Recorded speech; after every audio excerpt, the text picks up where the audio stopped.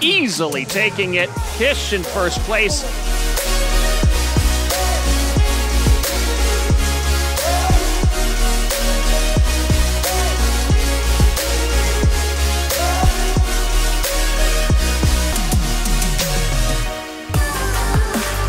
Curtis McGrath leaving his rivals trailing in his wake.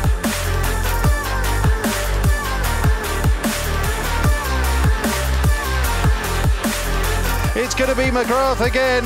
Double bubble for the Aussies by the looks of things.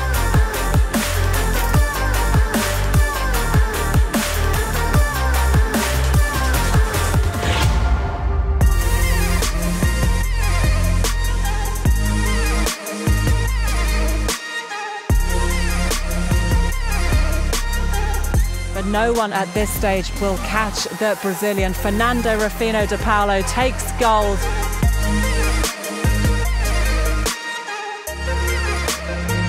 Rufino de Paulo with an impressive paddle.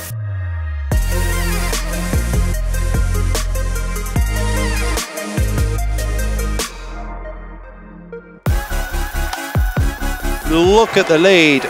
Gold medal. Emma Wiggs does it again.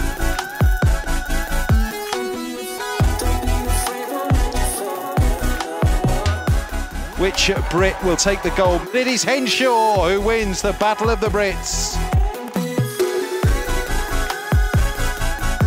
Laura Sugar, sweet as you like, over the line first. The gold medal for Great Britain.